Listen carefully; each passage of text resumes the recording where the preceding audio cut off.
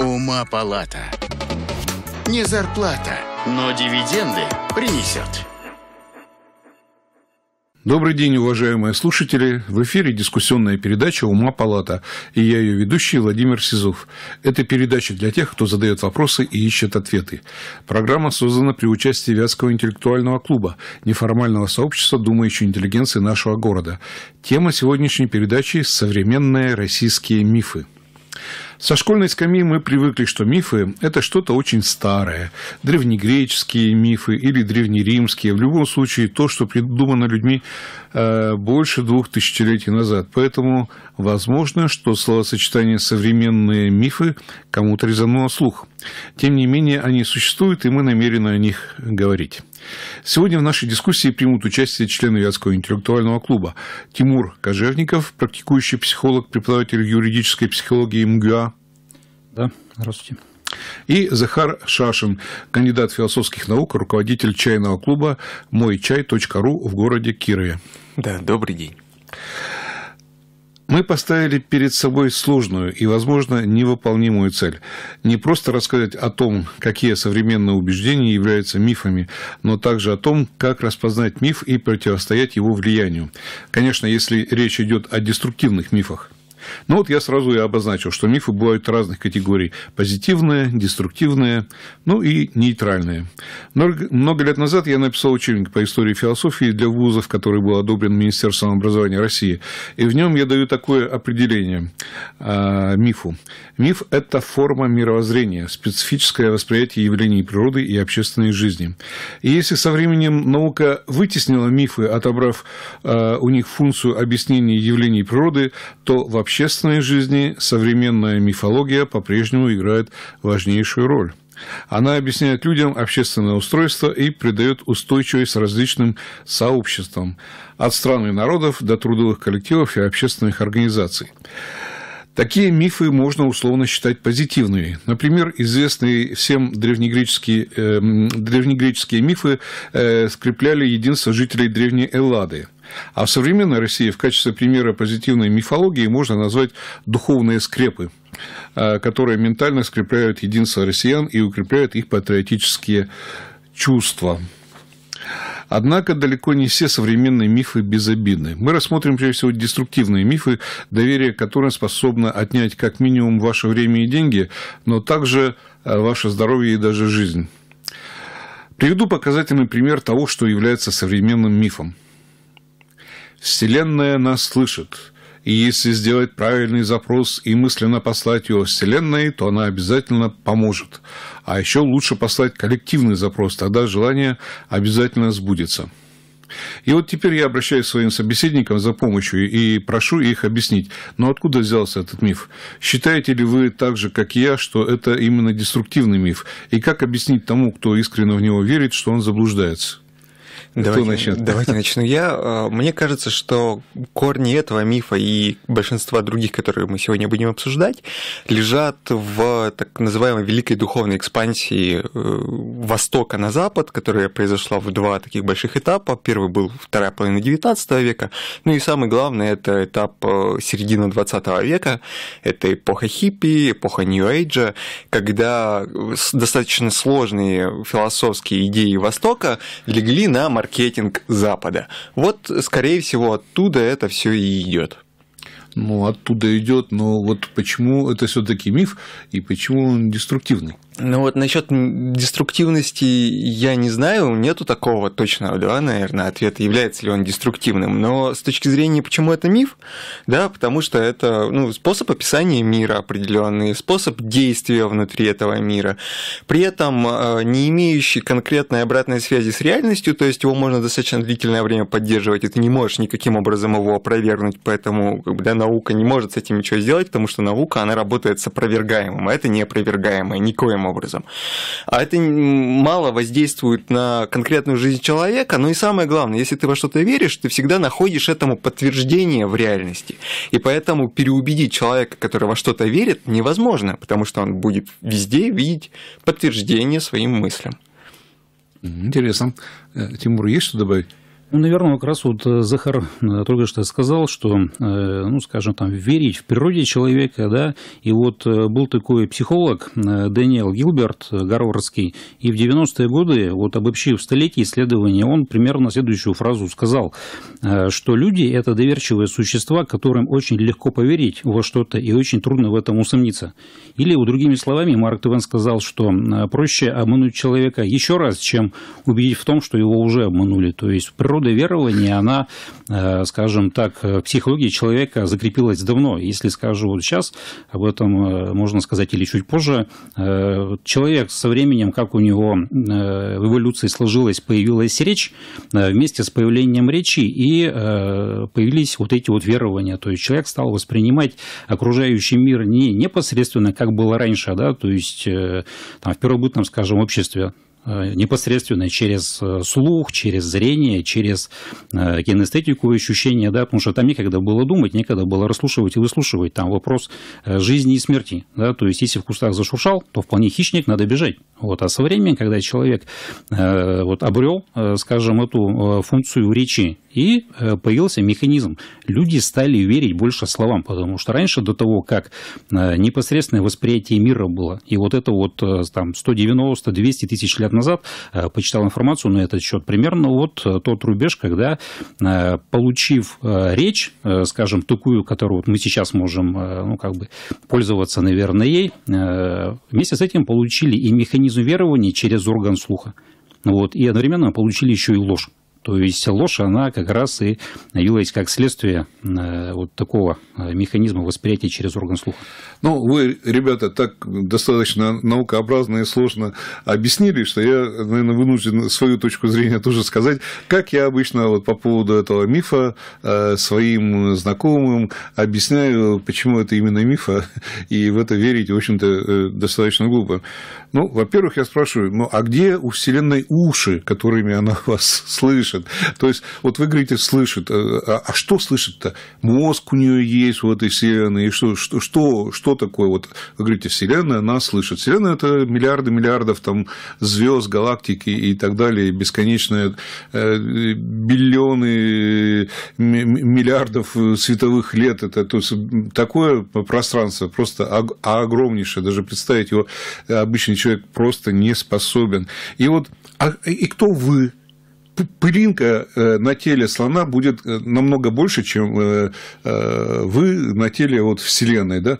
Почему вот эта бесконечная Вселенная с миллиардами миллиардов галактик должна вообще что-то вас слушать и еще и выполнять ваши какие-то простяцкие желания? Да? То есть, ну вот просто вы соотносите себя и, в общем, то, к кому вы обращаетесь.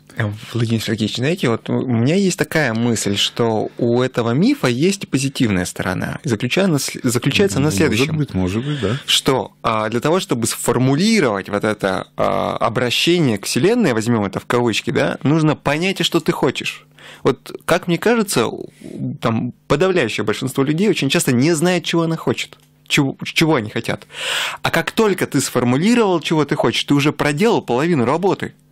Поэтому вот можно рассмотреть да, этот миф, безусловно, на физическом уровне никто тебя не слышит. Ну, я, я Но согла... это работа с внутренним да, миром. Я соглашусь с вами, что, конечно, в этом смысле э, какой-то позитив есть. Но в то же время, вот почему я его считаю все-таки деструктивным, потому что э, вот э, этот миф отстраняет как бы человека от реальных практических действий, которые только и могут помочь ему решать его проблемы, а настраивают на ожидание, на, мисти... на какой-то мистической помощи, понимаете? То есть э, человек-то превращается немножко такое в инфантильное существо, зависимое от неких сил, которых на самом деле нет.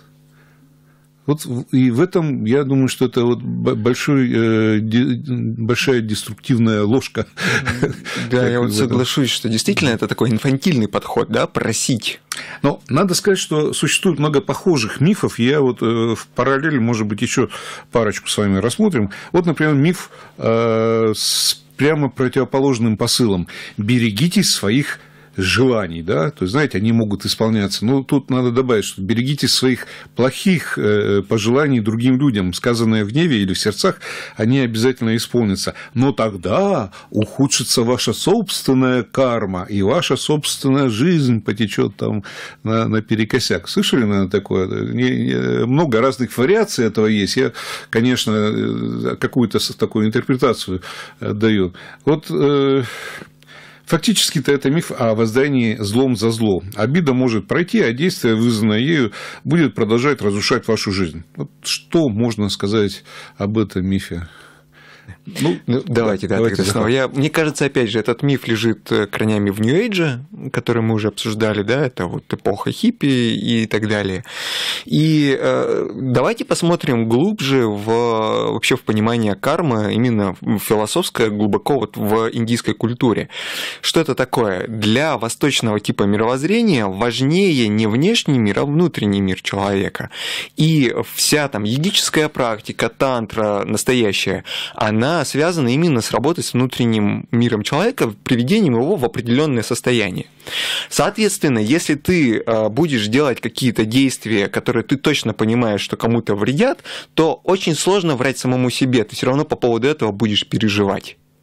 Угу. Поэтому, соответственно, лучше не делать чего-то плохого для того, чтобы больше дальше да, быть внутри с самим собой в комфорте, в, гар- в гармонии, скажем так. Поэтому вот в этом плане да, как бы это такой классический подход к карме. То, что мы сейчас это используем, ну, это вот инфильтрация каких-то эзотерических клубов, которые сформировались там в 80-х, 90-х уже в общественное сознание. Угу.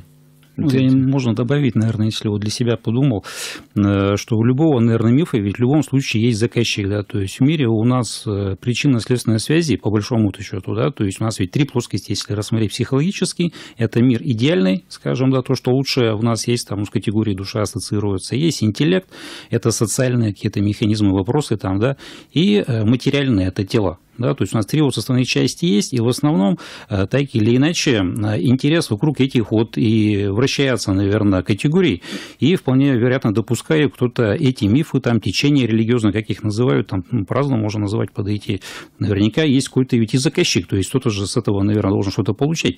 Да? То есть, если такие э, ну, длительное ну, время... Ну, нет, вот э, заказчик у мифа, вот как-то вы такое, мне кажется, тут придуманное. Ну, ну, у каких-то мифов, конечно, есть заказчики, но это в основном касается, скажем так, корпоративных мифов, да, то есть там легенд, это связано с корпорациями, может, с государством быть связано. С государством но, но здесь общественный такой миф, который, в общем-то, вряд ли нуждается вот в каком-то заказчике. Ну, возможно, спорить. С другой стороны, смотрите, более рационализированная форма этого мифа – это современный так называемый эмоциональный интеллект, то есть идея в том, что нужно уметь контролировать свои эмоциональные состояния, там, не злиться просто так по, по всякой мелочи. И этому раньше, например, даже ну, не предполагалось, что это можно, этому можно учить, а сейчас вот разработанные методики, они популяризируются достаточно активно. Мне кажется, в этом есть некоторый позитив.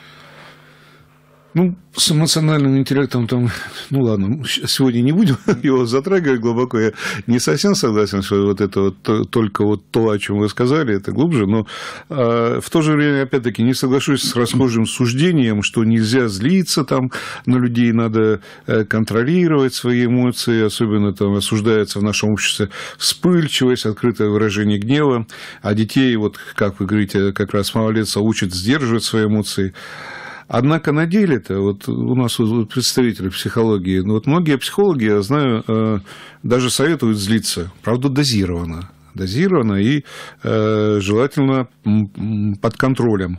Потому, э, э, тому, вернее, есть совершенно материальные причины. Когда человек злится, в его организме выделяется норадреналин, из которого затем синтезируется адреналин. Это гормоны, э, которые повышают работоспособность и выносливость организма, его устойчивость к негаприятным факторам окружающей среды. Адреналин также улучшает питание мозга, что ускоряет мыслительные процессы и обработку информации.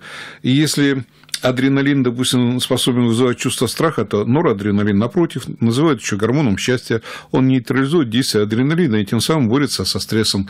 Поэтому э, дозированная злость, извините, так сказать, выражение гнева вполне допустимо, лишь бы это не причиняло вреда другим людям. Абсолютно согласен. Вот то, что подавлять свои какие-то эмоции, это точно путь, наверное, не самый хороший. А уметь вот их направлять, уметь с ними работать, с этими эмоциями, это очень важно. Но все-таки постоянно находить, находиться в стрессе, да, это тоже уже разрушение Нет, ну, организма. Я говорю про дозированность, да. конечно, да. И давайте тогда уж и третий миф, думал брать его, не брать, но э, разберем. А, он из этой же области, и, как мне кажется, распространен среди людей так от 30 до 45 лет, как раз вот ваша такая э, возрастная категория, и курсирует между ними такой псевдоигровой форме. Это, опять-таки, миф о карме, про который мы уже сегодня говорили, и что ее якобы можно улучшить теми или иными поступками. Обычно человек, который сделал что-то хорошее, вот пишет в соцсетях, либо ему пишут такая фраза, встречали, наверное, плюс 100 карме. Я не знаю, 100 чего там именно, или там плюс 500 Безразмерно, э, да, безразмерная не, не, величина. Непонятно, что именно, но вот плюс карме, да, или что-то вроде, э, в этом роде. Ну, могут встречаться на самом деле и другие фразы. Например, вот я сегодня почистил карму, да. Встречали, наверное, тоже э, такое. Но это вовсе вот не игра, а именно мифологическое мировоззрение современных людей. И я честно скажу, не понимаю, ну откуда у современного э, русского человека часто, замечу, православного вера вот в эту карму. Как это сочетается-то? То есть он ходит в храм, там, церковь и, и тут же пишет там плюс 100 к карме. Захар, может быть, опять вы? Мне, мне кажется, что да, это вот опять же история, как вот смотрите, сейчас в интернете очень многие, даже не геймеры, используют э, такую терминологию из игры, из игр. Потому что когда-то геймерская тусовка была изолированная, сейчас э, много геймеров стало. То же самое. Если там э, когда-то у нас вот люди, которые говорили о карме, занимались духовностью и прочим, сейчас это инфильтровалось уже в общее пространство. И скорее тот, кто пишет плюс 100 к армии, он не имеет в виду никакой там, религиозную идею. Это просто а, словосочетание. Он-то не имеет в виду, конечно, я это понимаю, а, э, потому что это игровая форма. Но в то же время ведь есть конкретное действие. Там призыв такой, что, ребят, помогите, вот там плюс 100 к карме там даю, там еще что-то. Все равно, а, понимаете, на бессознательном уровне вот оно, вера в то, что тебе будет воздаяние определенное, оно присутствует. Нет? Тимур Серафимович. Ну, вера категория вообще серьезная, она облегчает человеку жизнь. Да? То есть, и человек, вот э, почитал труды не так давно Натальи Бехтерева, у него как раз там говорится, что вот э, радость и вот вера в эту радость, да, то есть она реально заложена, и там даже какая-то зона мозга за это отвечает. Вот, то есть это ее слова, она человек признанный авторитетный, и это она сравнила, что это вообще инстинкт э, стремление вот к радости, у человека, но радость, она э, должна нести за собой какую-то быть основу веры. Вот. И человеку верить, мы можем верить в талисман, да, мы можем верить там, в какую-то, скажем, э, магию и так далее. То есть это в природе человека. То есть тут вопрос, во что человек верит, но критерий один, если человеку хорошо, да, то есть он другим вред не приносит, может, какая-то польза есть и для себя, и для других, наверное, это вариант, вот, то есть критерий оценки, вот, в каком направлении вера это двигается. Ну хорошо, давайте мы с кармическими всякими мифами современными закончим и перейдем немножко о других вещах, хотя Хотя должен сначала, возможно, заметить, что мы вот сейчас затронули тему-то вот э, которое вот даже непонятно, миф это или не миф, или там религиозное какое-то зрение, ведь миф и религия это тоже разные вещи, но мы сейчас как бы немножко не будем об этом. А я хотел о другом сказать, что э, вот под современными мифами не следует понимать обычные заблуждения малообразованных людей, которые базируются не на фактах, а связаны, скажем так, с неспособностью мыслить критически – вот. И, вот, например, по, дан, по данным ВЦИОМа, 2% россиян убеждены, что Земля плоская. А замечу, что 2% населения России – это не так уж мало, это около 3 миллионов человек. Но даже если там младенцев э, убрать, все равно будет 2,5 миллиона. Это, это гигантская, в общем-то, армия людей, которые убеждены, что Земля плоская. Но еще гораздо больше э, наших соотечественников уверены в том, что вышки мобильной связи пятого поколения, так называемые вышки 5G, распространяют коронавирус. Ну, глупость, конечно. Или то, что вместе с прививками от коронавируса людей чипируют, чтобы за ними следить или как-то управлять. Конечно, любой образованный и думающий человек понимает, что это ну, как бы полный бред, основанный на скудоумии. Тем не менее, вот миллионы россиян искренне верят это. Так вот, я хочу сказать, что подобное заблуждение вообще-то не является мифом. Это просто заблуждение, именно э, базирующееся на ну, как бы недостаточности информации, на а, плохом образовании и так далее. Вы знаете, видео плоскоземельщиков – это такая прям промывка мозга, это так мощно работает на людей. Там Видели, такая да? мощная история, да, mm-hmm. там посыл такой очень крутой. И ведь главное, это а каждый из обозначенных вами мифов, он же подкрепляется какими-то доводами, и при этом эти доводы все увязаны в какую-то систему, которая кажется стройной, и люди начинают в это верить. Ну, конечно. Ну, ну, давайте вот, если мы э, разберем э, миф о плоской Земле, ведь, ну, это, так сказать, ге- геоцентрическая модель, которая в свое время, две с половиной тысячи лет назад, была предложена Аристотелем. Э, ну, там Анаксимандр первый был, но, но э, вообще, как, именно как модель, это Аристотель сделал. Потом Птолемей, там уже в первом веке, ее доказал математически почему, собственно говоря, она и стала во главе угла, и до там, 17 века это была главенствующая, или до 18 даже главенствующая модель. И мы знаем прекрасно, что и осуждение Коперника произошло, э, что он э, отверг эту модель, а Джордана Бруно вообще сожгли, да, то есть это все подкреплялось э, авторитетом церкви, подкреплялось, значит, доказательствами математическими, и тем не менее со временем, в общем-то, все равно э, правда, так сказать, истина э, ну, нашла, так сказать, пути, пробилась, и мы прекрасно понимаем, что сегодня, что Земля все-таки это шар, и она вращается вокруг Солнца и, и так далее. Да. Ну, по большому счету, а, почему Земля шар? Потому что она, по большому счету, внутри э, жидкая, а жидкость, она в невесомости приобретает определенную форму. Ну да.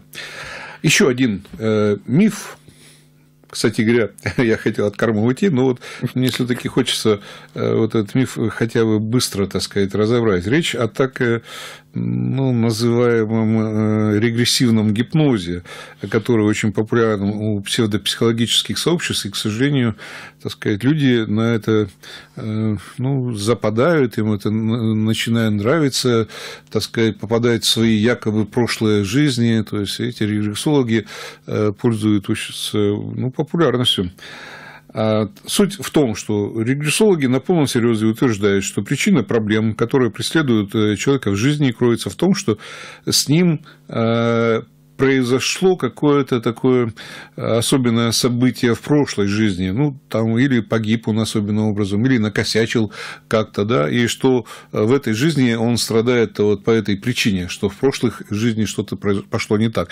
Поэтому надо найти время и место в одной из прошлых жизней, где вот это событие произошло, а дальше, так сказать, э, вернуться, Э, обсудить с регрессологом ну, пути, как это можно устранить, снова попасть в это место, устранить причину, то есть, чтобы запустить, так сказать, эту прошлую жизнь иначе, и таким образом будет тебе счастье да, в этой жизни.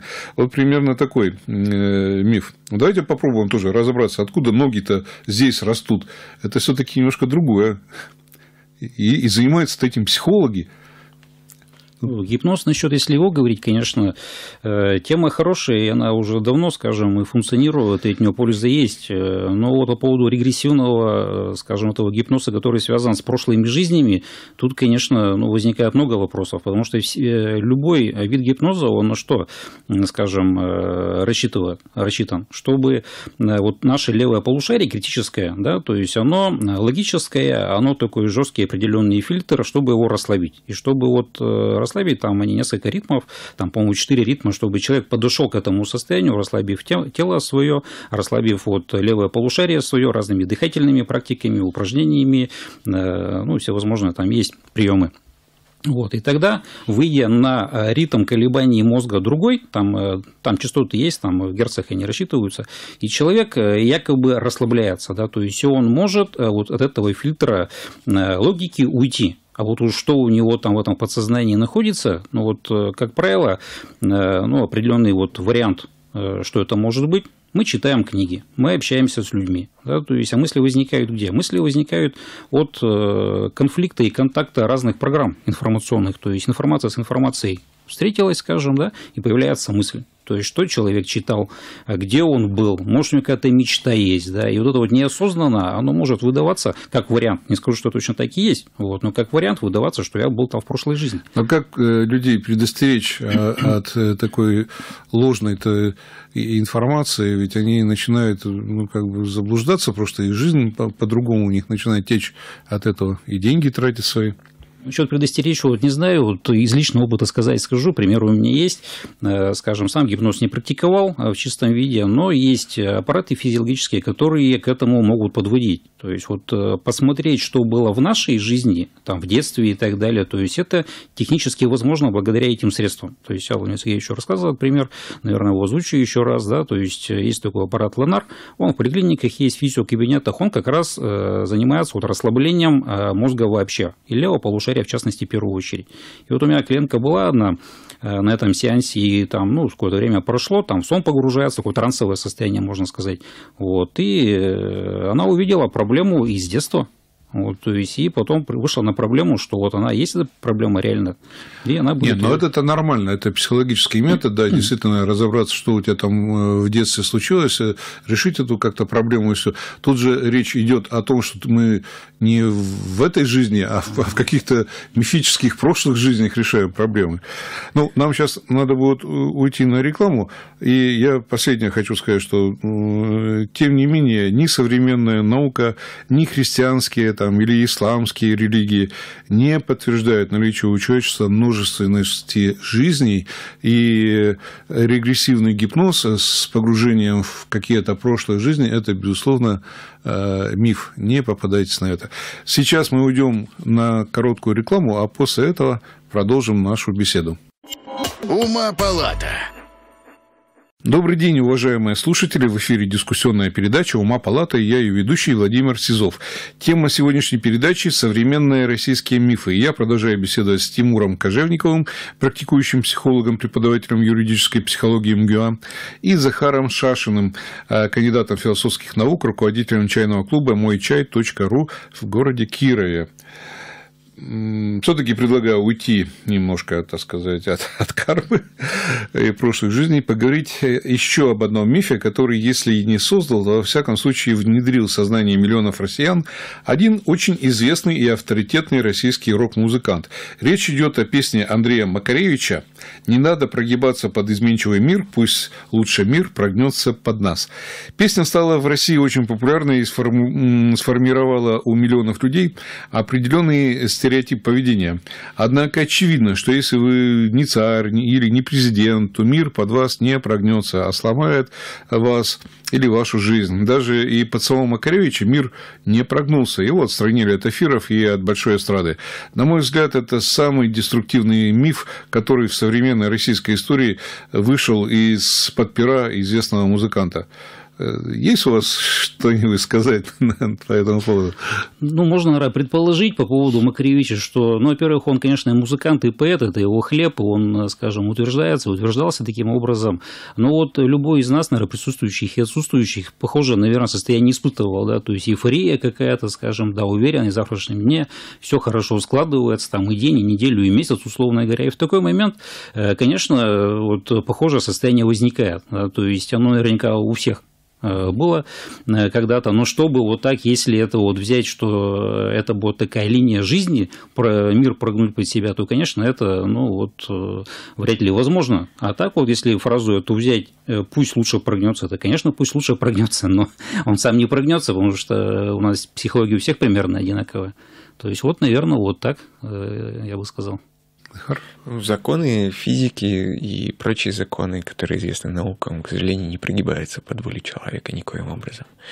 Ну, ну тут имеется мир э, как общество, конечно. Ну, конечно. Ну, даже социальные законы, они под конкретного человека могут на какое-то время прогнуться, но недолго. Да, но песня, ведь вот он э, запустил такую утку, да, э, популистское заявление, скажем так, сделал, а люди, вот он известный человек, они пошли за ним, они что, чего мы там будем прогибаться? Сейчас мы тут мир а прогнем. Вы, что Я это... думаю, что много судеб об этом сломалось вот благодаря э, его такому непродуманному поступку создания этой песни. Ну, хорошо. Вообще, вот современные мифотворцы очень э, любят апеллировать к науке – на самом-то деле. Они утверждают, что их выводы, достижения или методы научно обоснованы, что придает им значимость и вселяет доверие.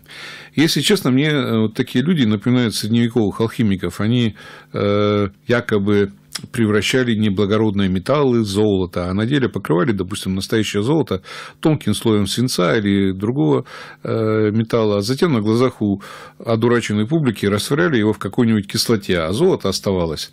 Вот современные мошенники, как и средневековые, хотят заработать денег на доверчивости людей.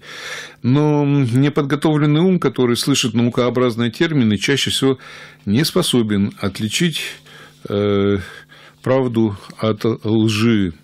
Особенно если э, речь идет, что там какой-нибудь доктор наук, профессор, там, не знаю, какой-нибудь академии, вот он там что-то открыл.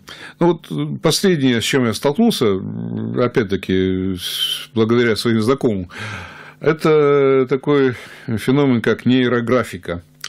Ее изобретатель, так называемый доктор наук Павел Пискарев – Почему так называемый?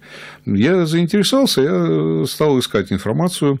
Так вот, выяснилось, что докторскую диссертацию он защищал не в диссертационном совете при каком-нибудь государственном университете, как это полагается, а в ООО то есть в обществе с ограниченной ответственностью, да, то есть вот Захар понимает, что это просто смешно, а общество с ограниченной ответственностью, которое называлось Международная академия психологических наук Ярославля.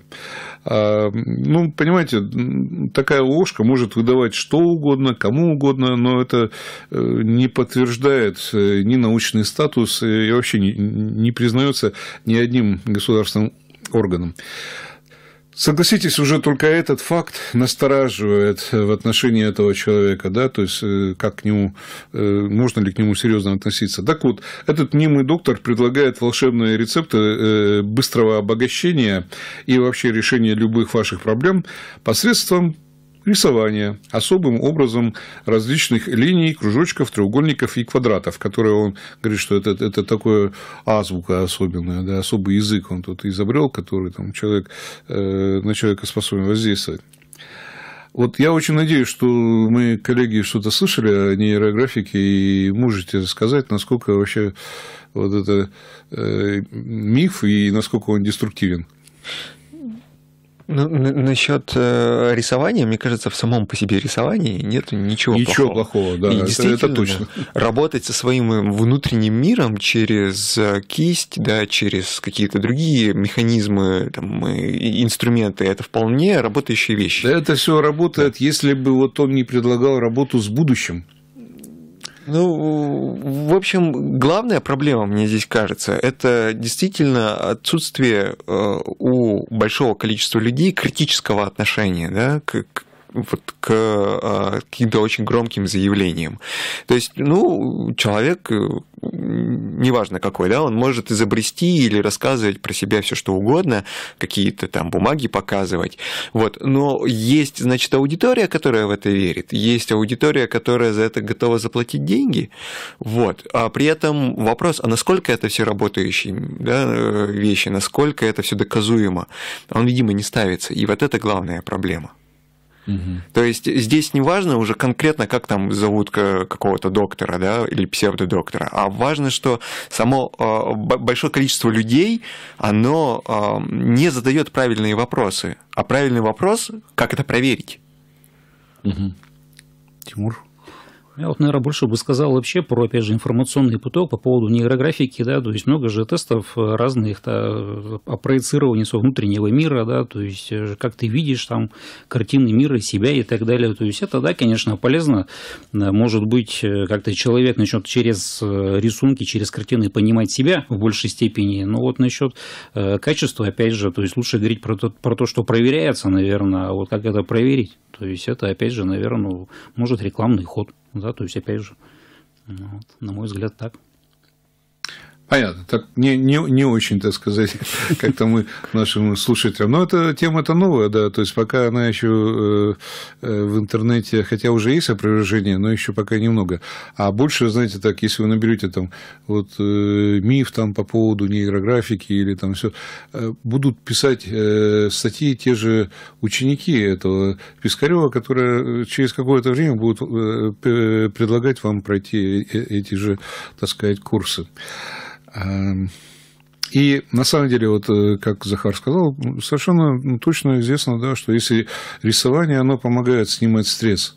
Но, понимаете, с помощью рисования нельзя создать э, будущее, и, э, в котором вы будете богатым и счастливым человеком. И вот о том, как быстро разбогатеть, наверное, можно было бы еще, так сказать, привести примеры определенных э, мифов. Ну вот, допустим, сейчас э, существует много компьютерных школ. Но на чем они зарабатывают? Они зарабатывают, можно сказать, э, ну, на разных вещах, но в частности на таком мифе, что если стать известным компьютерщиком, там, программистом или хакером, то э, значит, ты через какое-то время там э, у тебя будут такие заказы на миллионы долларов, там быстро разбогатеешь, да, или что если ты станешь киноактером, ты станешь известным, и опять-таки э, быстро разбогатеешь. Ну, мы-то ведь знаем, что в реальности мало кто добивается успеха, а если и добивается, то по иным причинам.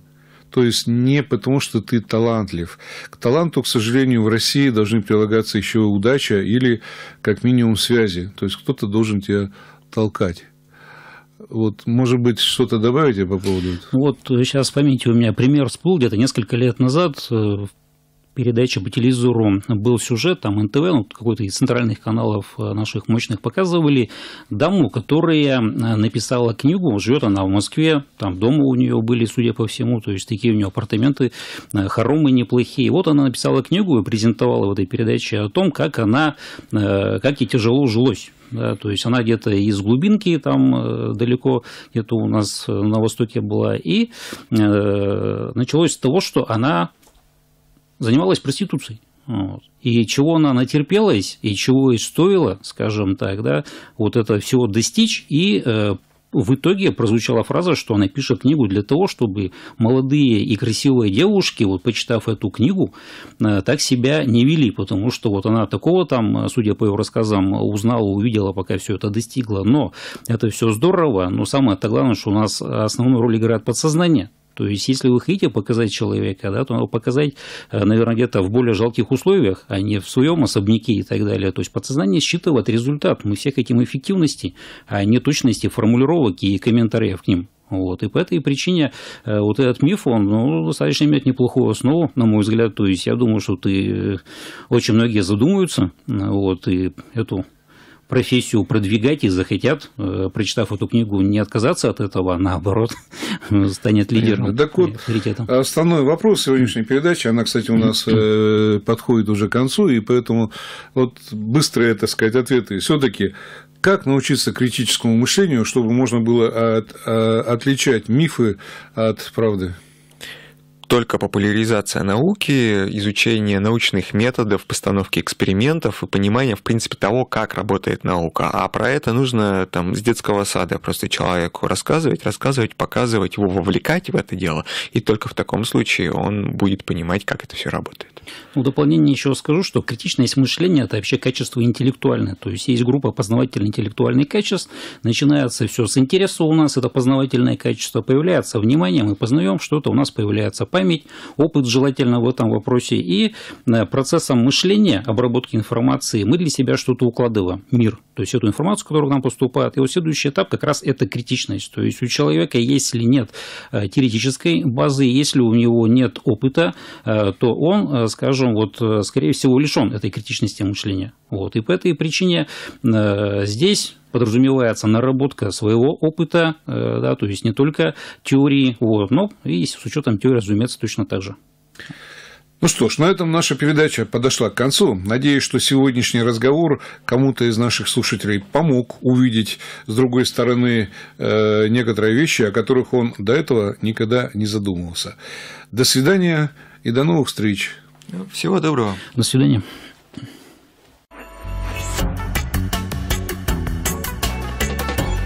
Ума палата.